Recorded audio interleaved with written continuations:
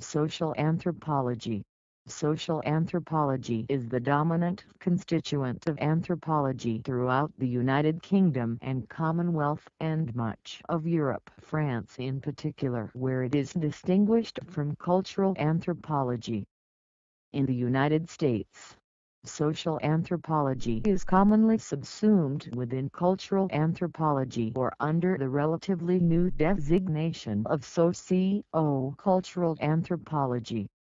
In contrast to cultural anthropology, culture and its continuity including narratives, rituals, and symbolic behavior associated with them have been traditionally seen more as the dependent variable cf.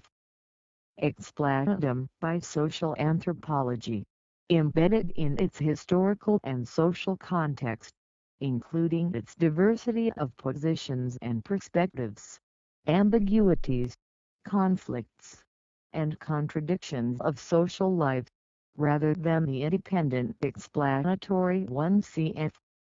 Explanans Topics of interest for social anthropologists have included customs, economic and political organization, law and conflict resolution, patterns of consumption and exchange, kinship and family structure gender relations, childbearing and socialization, religion, while present-day social anthropologists are also concerned with issues of globalism, ethnic violence, gender studies, transnationalism and local experience, and the emerging cultures of cyberspace and can also help with bringing opponents together when environmental concerns come into conflict with economic developments.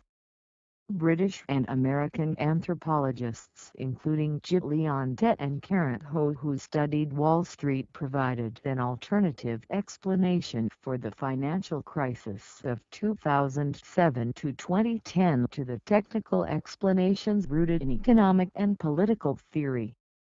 Differences among British, French, and American socio-cultural anthropologies have diminished with increasing dialogue and borrowing of both theory and methods.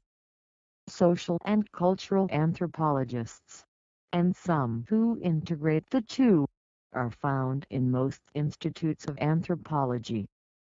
Thus the formal names of institutional units no longer necessarily reflect fully the content of the disciplines these cover. Some, such as the Institute of Social and Cultural Anthropology Oxford changed their name to reflect the change in composition. Others, such as social anthropology at the University of Kent became simply anthropology most retain the name under which they were funded. Long-term qualitative research, including intensive field studies emphasizing participant observation methods has been traditionally encouraged in social anthropology rather than quantitative analysis of surveys. Questionnaires and brief field visits typically used by economists, political scientists, and most sociologists